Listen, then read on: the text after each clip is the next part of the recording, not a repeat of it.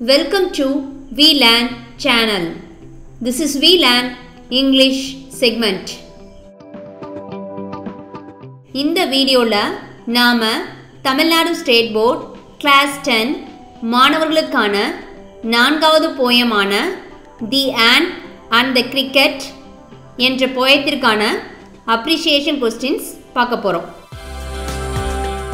Appreciation கொஸ்டின்ஸை பார்க்குறதுக்கு முன்னாடி நம்ம வீலாண்ட் சேனலை யாராவது சப்ஸ்கிரைப் பண்ணாமல் இருந்தீங்க அப்படின்னா சப்ஸ்கிரைப் பண்ணிக்கோங்க.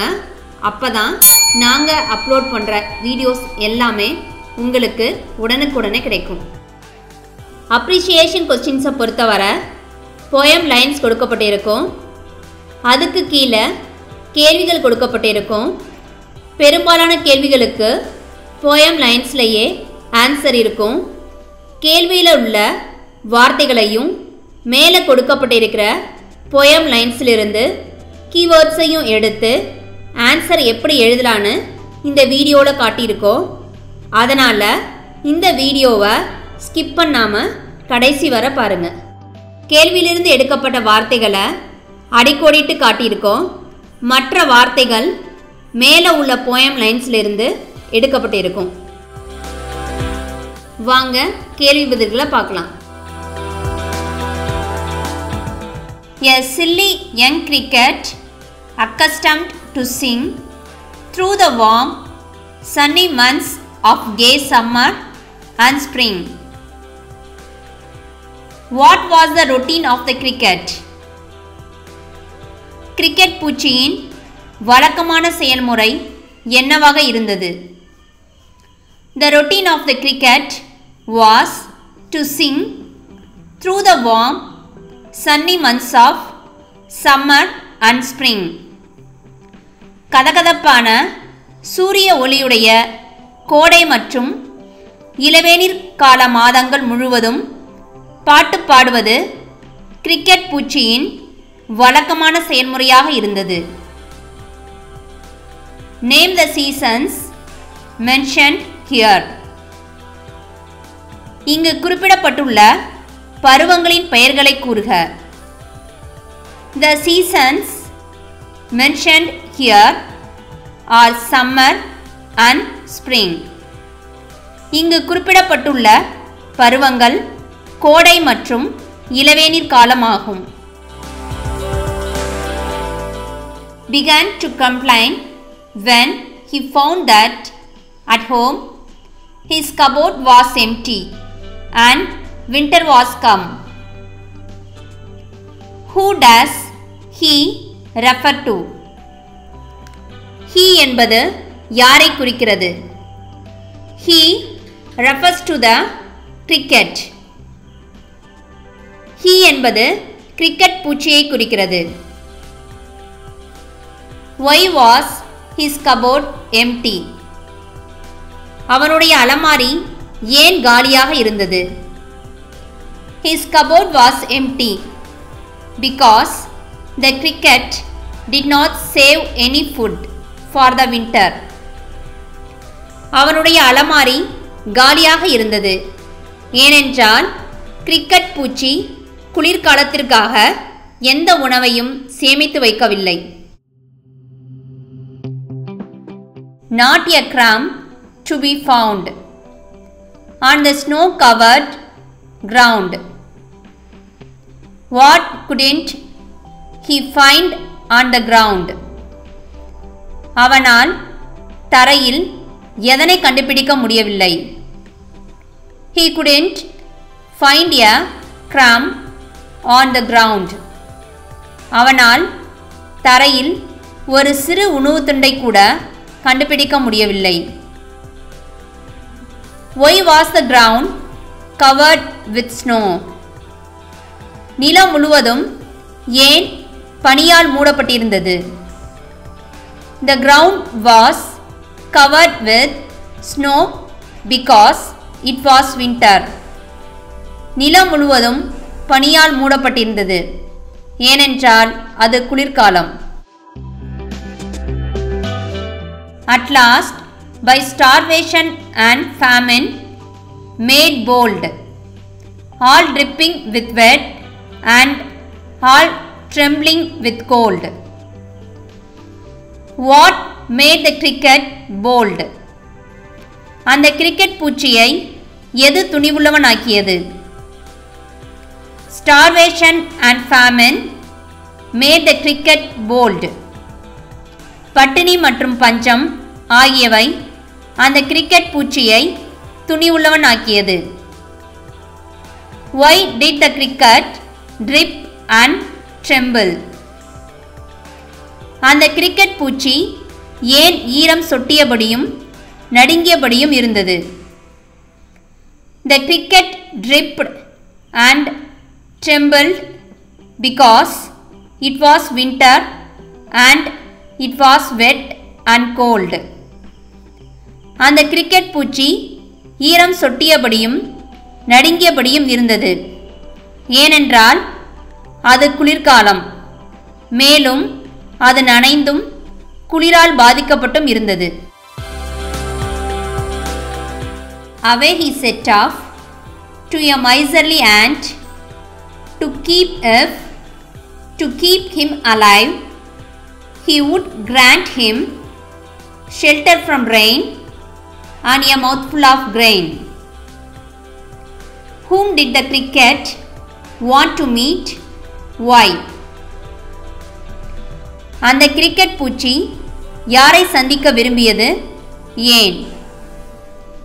The cricket wanted to meet the miserly ant to ask for shelter and grain. உறைவிடம் மற்றும் தானியங்கள் கேட்பதற்காக அந்த கிரிக்கெட் பூச்சி கஞ்சத்தனமான எறும்பை சந்திக்க விரும்பியது. What would keep him alive எவை? அவனை உயிருடன் வைத்திருக்கும்.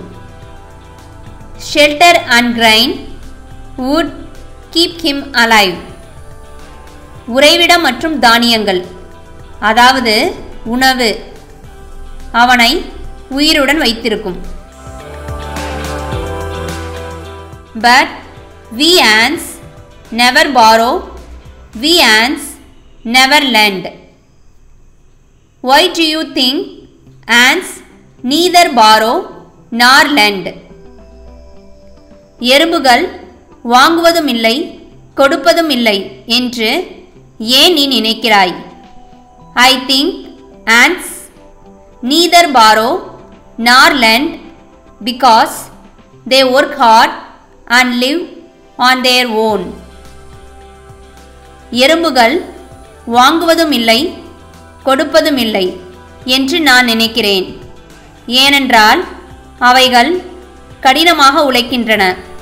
மேலும் அவைகள் தன்னிச்சையாக வாழ்கின்றன. Who says these lines to whom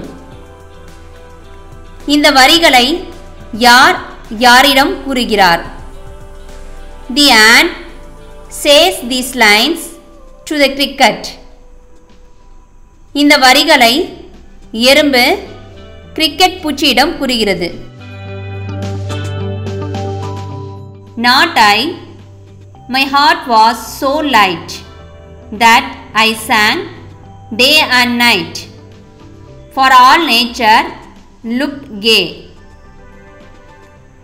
who does I refer to I என்பது யாரை குறிக்கிறது I refers to the cricket I என்பது அந்த கிரிக்கெட் பூச்சியை குறிக்கிறது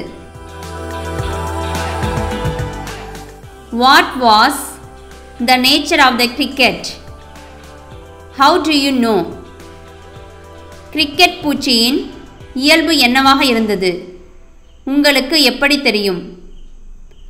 The nature of the cricket was to sing day and night when the nature look gay we know this from its reply to the ant இயற்கை வளமையாக இருக்கும் பொழுது பகல் மற்றும் இரவு முழுவதும் பாட்டு பாடுவது கிரிக்கெட் பூச்சியின் இயல்பாக இருந்தது. எறும்பிற்கு அதில் அளித்த பதிலின் மூலம் இது நமக்கு தெரிகிறது thus ending he hastily lifted the wicket and out of the door turned the poor little cricket the ant refused to help the cricket why எறும்பு கிரிக்கெட் பூச்சிக்கு உதவ மறுத்துவிட்டது. ஏன்? Then ant refused to help the cricket because he was lazy and didn't save anything for the winter. எறும்பு cricket பூச்சிக்கு உதவ மறுத்துவிட்டது. ஏனென்றால் அவன் மிகவும் சோம்பேறியாகவும் குளிர்காலத்திற்காக எதுவும் சேமித்து வைக்காமலும் இருந்ததால். எக்ஸ்பிளைன் த செகண்ட் லைன் இரண்டாவது வரியை விளக்குக then sent the cricket away by showing the door எறும்பு கிரிக்கெட் பூச்சிக்கு கதவை காட்டி திருப்பி அனுப்பியது he wished only to borrow he'd repay it tomorrow Pick out the rhyming words in the above lines மேலே கொடுக்கப்பட்டுள்ள வரிகளில் ஒத்த ஓசையுடைய வார்த்தைகளை எடுத்து எழுதுக the rhyming words in the above lines are borrow tomorrow மேலே கொடுக்கப்பட்டுள்ள வரிகளில் ஒத்த ஓசையுடைய வார்த்தைகள் பாரோ மற்றும் டுமாரோ ஆகும் Give more examples of rhyming words from the poem. இந்த கவிதையிலிருந்து மேலும் சில ஒத்த ஓசையுடைய வார்த்தைகளை தருக The following are some more examples of rhyming words from the poem. Sing, spring, home, come, found, ground, see, tree, me, bold cold இந்த கவிதையில் உள்ள மேலும் சில ஒத்த ஓசையுடைய வார்த்தைகள் sing spring home come found ground see tree me bold cold ஆகும். My heart was so light that I sang day and night. For all nature looked gay, you sang, sad, you say. Mention the rhyme scheme employed in the above lines. மேலே உள்ள வரிகளில் பயன்படுத்தப்பட்டுள்ள ஒத்த ஓசையுடன் கூடிய வார்த்தை அமைப்பை குறிப்பிடுக The rhyme scheme employed in the above lines is A மேலே உள்ள வரிகளில் பயன்படுத்தப்பட்டுள்ள ஒத்த ஓசையுடன் கூடிய வார்த்தை அமைப்பு ஏஏ பிபி எல்லா கேள்வி பதில்களும் ஈஸியாக இருந்திருக்கும்னு நம்புகிறோம் மறக்காமல் உங்களுடைய பத்தாம் வகுப்பு நண்பர்களுக்கும் நம்ம வீலாண்ட் சேனலை அறிமுகப்படுத்தி வைங்க. இந்த வீடியோ உங்களுக்கு பிடிச்சிருந்தா லைக் பண்ணுங்க. வீலாண்ட் சேனலுக்கு சப்ஸ்கிரைப் பண்ணுங்க. பக்கத்திலே பெல் பட்டன் இருக்கும். அதை கிளிக் பண்ணி ஆளுங்கிறத செலக்ட் பண்ணுங்க. இந்த வீடியோவை உங்களுடைய நண்பர்களுக்கு ஷேர் பண்ணுங்கள்